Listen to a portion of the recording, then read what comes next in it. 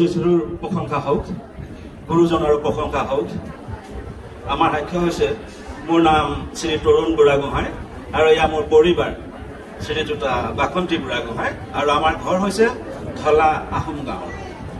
আৰু আমাৰ পৰিবাৰৰ বহুতো ৰোগ ব্যাধি আছিলে। বাওখিত বিষ হয় হাতত বিষ হয় সমস্ত শৰীৰত বিষ অনুভৱ কৰে। যেতিয়া ডক্টৰৰ ওচৰত গৈ বেজী লয় বেজী টেম্পাৰ থকালৈকে ঠিকে থাকে। তাৰপিছত যেতিয়া টেম্পাৰ গুচি গ'লে আকৌ বিষটো আহিয়ে যায়। সেইধৰণে মানে হাতৰ হাতখন ওপৰলৈ দাঙিব নোৱাৰে। লাইটৰ চুইচটো অন অফ কৰিব নোৱাৰে তেনেকুৱা অৱস্থা আছিলে। তাৰপিছতে মোৰ আপোনাৰ কথাটো এনেকুৱা ধৰণৰ কি যে চিকিৎসা বিজ্ঞানে মোক হাত দাঙি দিলে। মোৰ হ'ল কি কঁকালৰ জইণ্টটো হাড় দুডাল পচিছে বুলি কৈছে চিকিৎসা বিজ্ঞানৰ মতে। বহুত পইচা পাতি খৰচ কৰিলোঁ। পাছত তেওঁলোকে ক'লে যে নহয় যিহেতু আপোনাৰ হাড় দুডাল পচি গৈছে বস্তুটো খোল খাই থাকিব লাগে কিন্তু এতিয়া আপোনাৰ পচি যোৱাৰ কাৰণে বস্তুটো ব্লক হৈ গ'ল বহি গ'ল। এইটো আৰু ভাল হোৱা বেমাৰ নহয় তেনেকে বুলি ক'লে। ত মই বহু কষ্ট পাই আছিলোঁ। অনবৰতে মই কঁকালত বেল মাৰি থাকিব লাগে। বেলডাল নহ'লে মই ক'তো ওলাই যাব নোৱাৰোঁ। কিন্তু এইখিনিৰ পৰা পৰিত্ৰাণ পাবৰ বাবে আমি যেতিয়া গম পালোঁ যে ইয়াতে প্ৰাৰ্থনা ভৱনলৈ আহিলে ভাল হয় ঠিক তেনেকৈ আমি মাত্ৰ চাৰি মাহৰ আগত তেৰ নৱেম্বৰ দিনাখন আমি ইয়ালৈ আহিছিলোঁ প্ৰাৰ্থনা কৰিলোঁ। আৰু আমি ইয়াৰ পৰা তেল পানী লৈ যোৱাৰ পাছত প্ৰাৰ্থনা কৰি ঘৰতে পুৱা গধূলি প্ৰাৰ্থনা কৰি আমি যিখিনি তেল পানী ব্যৱহাৰ কৰিলোঁ এতিয়া আমি দুয়ো সম্পূৰ্ণ নিৰোগী। সেইটোকে আমি সাক্ষা দিবলৈ আহিছোঁ। আৰু ঘৰখনৰ আটাই পৰিয়ালটোৱে যাতে আমি কুশলা মংগলা থাকিব পৰা প্ৰভু ঈশ্বৰে আমাক এইখিনি সামৰ্থ্য দিয়ক।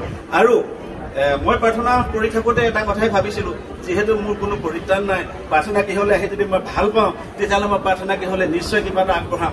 সেয়ে মই আজি গুৰুজনালৈ এখন ফুলাম গামোচা আনিছোঁ আৰু মোৰ সামৰ্থ্য অনুযায়ী প্ৰাৰ্থনা ভৱনলৈ মই টকা দহ হাজাৰ আগবঢ়াবলৈ বুলি আগবাঢ়ি আহিছোঁ। ধন্যবাদ প্ৰথমে সৃষ্টিকৰ্তা ঈশ্বৰলৈ কোটি কোটিবাৰ প্ৰণাম জনাইছোঁ আৰু গুৰুজনালৈও কোটি কোটিবাৰ প্ৰণাম জনাইছোঁ। মোৰ নাম মুনম গগৈ মোৰ ঘৰ শিমলুগুৰি মোৰ মানুহজনৰ এদিনাখন কি হ'ল ফেব্ৰুৱাৰী মাহত মই স্কুলৰ এক্সকাৰ্চনত গৈছিলোঁ। তাৰপিছত তেওঁ মোলৈ ফোন কৰিছে স্কুলৰ পৰা মন বোলে মোৰ চকুটো একদম ৰঙা পৰি গৈছে। কিন্তু মইতো ৰাতিপুৱা চোৱাও নাছিলোঁ মানে কিনো দৰকাৰ কৰিছে ৰাতিপুৱাতে চাবলৈ আৰু। তাৰপাছতে তেওঁ কৈছে বোলে পূৰা ৰঙা হৈ গৈছে তেল টুপা নিচিনা হৈ গৈছে। তাৰপাছত মই তেতিয়া ক'বলৈ পূৰা বাৰু চিন্তা কৰিছোঁ যে প্ৰভু তেওঁৰ চুগাৰো আছে প্ৰেছাৰো আছে আৰু যদি চকু একেবাৰে নেদেখা হৈ যায় কি হ'ব? তাৰপাছত তেওঁ ক'লোঁ তুমি যি যিছো প্ৰাৰ্থনা কৰা তাৰপাছত কি হ'ল? লাহে লাহে লাহে লাহে তেওঁ অকণমান বিষো হৈছিলে বিষটো ভাল পালে। তেওঁ স্কুলৰ পৰা গুচি আহিলে। তাৰপাছত পিছদিনাখনে তেওঁ শিৱসাগৰ ডক্টৰৰ ওচৰলৈ আহিলে। ডক্টৰে ক'লে কি আপোনাক আমি যোৰহাটলৈ পঠাইছোঁ আৰু তাত আপোনাৰ ইনজেকশ্যন দিবলগীয়াও হ'ব পাৰে আৰু চকু আপোনাৰ যিমানখিনি বেয়া হৈ গৈছে আৰু আৰোগ্য নহ'বও পাৰে। তাৰপাছত আমি দুইটা ইমানেই চিন্তিত হ'লোঁ। মোক খুব দুখ লাগিছে। তাৰপৰা মই খুব প্ৰাৰ্থনা কৰিলোঁ হে প্ৰভু আপুনি মোৰ মানুহজনক সুস্থ কৰি তোলক তেওঁ যাতে একো ৰিপৰ্ট বেয়া নাহে। আৰু মই যদি তেখেত সুস্থ হয় আৰু ৰিপৰ্ট যদি চব নৰ্মেল আহে মই তেতিয়া প্ৰাৰ্থনা গৃহত গ'লোঁ। লঘোণ প্ৰাৰ্থনা দিমগৈ। সেয়ে তেওঁ দুদিনমানৰ পাছতে ডক্টৰলৈ ফোন কৰিলে ডক্টৰক লগ নাপায় নহয় তেওঁ ছেমিনাৰত গ'ল বাহিৰলৈ। তাৰপাছত দুদিনমানৰ পিছতে তেওঁ আহিলে বুলি খবৰ পালোঁ। তাৰপিছত গ'লোঁ তেতিয়া তাত তাত গৈ দেখালোঁগৈ। দেখালত মানে চব নৰ্মেল আহিলে আৰু আমাৰ তেওঁ বেজী ল'ব লগাও নহ'ল আৰু আমাৰ পইচাও বেছি খৰচ নহ'ল অকল এহেজাৰ টকা এটা খৰচ হ'ল। তাকে আজি আহি আহিছোঁ মই সাক্ষ্য দিম বুলিয়ে ভাবিছিলোঁ এইটোকে আৰু আজি সেই লঘোণ প্ৰাৰ্থনাও দিম। শ্ৰীমতী অঞ্জুমণি গগৈ তামুলী মই গোলাঘাট কমাৰবন্ধাৰ পৰা আহিছোঁ এদিন ফোন কৰিছিলোঁ আপোনাক। তাৰপিছত তাৰপিছতে বেছি দিন হোৱা নাই মানে দুমাহমান হৈছিলে। মই আঠলুটি তলত দুই দুইখন হাততে বিষ এটা হৈ থাকে। তাৰপিছত মই মনে মনে খুব ভয় ভাৱ এটা সোমালে বুকুত মানে সদায় সেই ভয়টোকে লৈ থাকোঁ আৰু। কিবা এটা হ'ব নেকি হ'ব নেকি এনেকৈ। তাৰপিছত তেওঁ ওচৰৰ বৰ এজনীয়ে আহিছে প্ৰাৰ্থনা গৃহলৈ। এবাৰেই আহিছে মাত্ৰ। গৈ পেলাই মোক মানে প্ৰাৰ্থনা গৃহৰ বিষয়ে কৈ আছে। কওঁতে মই খুব ভালকৈ মন দি শুনিলোঁ কথাখিনি শুনি পেলাই চালোঁ তেওঁৰ মোবাইলটো চালোঁ নিজৰ মোবাইলটো উলিয়াই চালোঁ চোৱাৰ পিছত মানুহগৰাকীয়ে যাওঁ বুলি কৈ গৈ যেনিবা গৈ ঘৰো নাপালোঁ লগে লগে মোৰ গাত ইমানেই পাতল লাগি আহিলে মানে বিষটোও নাইকিয়া নিচিনা লাগিছে।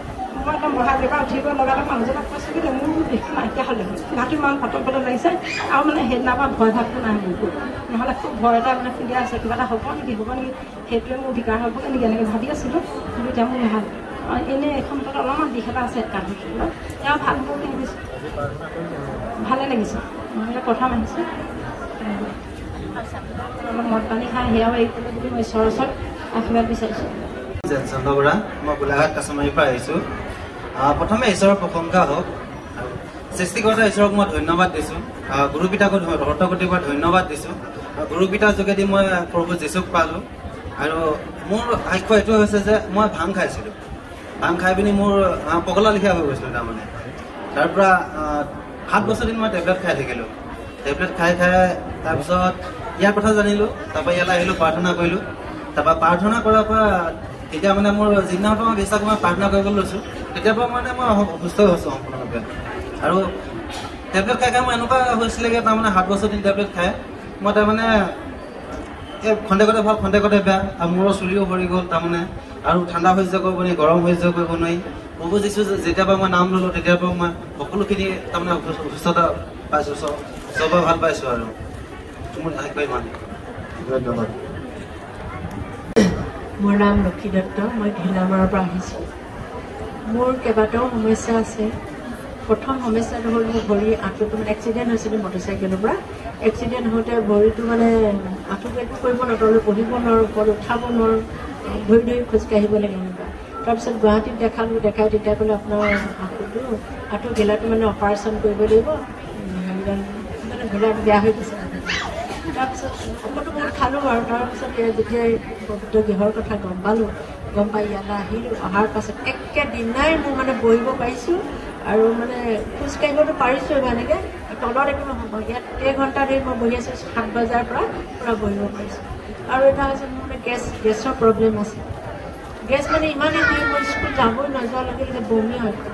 আৰু একো খাব নোৱাৰোঁ। তাৰপিছত সেই গেছটো ইয়ালৈ পবিত্ৰ গৃহলৈ অহাৰ পৰা মোৰ সম্পূৰ্ণ ভাল হৈছে। আৰু এটা মোৰ চুগাৰ আছে ব্লাড চুগাৰ চুগাৰ মই দুটা টাইম মানে ইনচুলিন ল'ব লাগে। এতিয়া মাত্ৰ এটা টাইম লৈছোঁ কমিছে। আৰু কমিব বুলি মোৰ ঈশ্বৰৰ ওপৰত বিশ্বাস আছে। নিশ্চয় ভাল হ'ব বুলি ভাবিছোঁ। ইয়ালৈ মোৰ এইবাৰ সৈতে তেৰবাৰ হ'ব দুবাৰ মই ব্ৰত দিছোঁ আকৌ আজি ব্ৰত দিবলৈ আহিছোঁ। আৰু এটা শিক্ষা আছে কি মোৰ মানে গুৰুক মই খুব ভাল চিন্তা কৰোঁ সদায় মানে চকুটো মুদাৰ লগে লগে মই গুৰুকে দেখোঁ। যিচুকো দেখোঁৱেই কথাই নাই তাৰপিছত মানে নাম্বাৰ আছে নাম্বাৰত প্ৰাৰ্থনা কৰিবলৈ গৈছোঁ। তেতিয়া মানে মোবাইলটো মানে এনেকৈ স্ক্ৰীণটো হেৰি কৰি দিছোঁ আকাশ ব্লু কালাৰ ওলাইছে। তেতিয়া ওলাওঁতে মানে একদম পূৰা কুৱেশ্যনটো দেখিছোঁ। তেতিয়া ইমান ভাল লাগিছে মোক প্ৰভুৱে দৰ্শন দিছে ভাবিছোঁ। আৰু মানে ছেপ্টেম্বৰ মাহৰ ন তাৰিখে বিছ চনৰ সেইদিনা মোৰ তিনিটা মানে যেতিয়াই মন যায় তেতিয়াই প্ৰাৰ্থনা কৰোঁ আৰু। এতিয়া চাৰে তিনিমান বজাত মোৰ হাজবেণ্ড আৰু মই দুজনে বিচনাতে আঁঠুকাঢ়ি লৈ এনেকৈ প্ৰাৰ্থনা। কৰোঁ প্ৰাৰ্থনা শুনি মানে গুৰুজনক স্মৃতি কৰিলে মই প্ৰাৰ্থনা আৰম্ভ কৰিব লৈছোঁ। লওঁতে দেখিছোঁ মানে চকুটো মুদি আছে গোটেই ৰুমটো আন্ধাৰ। গোটা পোহৰ আহিছে ইমান তীব্ৰ পোহৰ মানে মই চকুৰে চাব পৰা নাই। কিন্তু মোৰ ইমান ভাল লাগিছে ভয় লাগিছে। যে এই প্ৰভু মই তোমাক ইমান হাবিয়াস কৰিছোঁ তুমি দৰ্শন দিবা বুলি। তুমি ইমান ধুনীয়াকৈ দৰ্শন দিছে তুমি মোক কোটি কোটি বাৰ ধন্যবাদ দিছোঁ খুব ভাল লাগিছে মোৰ আৰু গুৰুদেৱ গুৰুকেইটালৈ মোৰ অশেষ ধন্যবাদ থাকিল তেওঁলোকৰ দীৰ্ঘায়ু কামনা কৰিছোঁ। আৰু মোৰ সাক্ষ্য ইমানে আছে।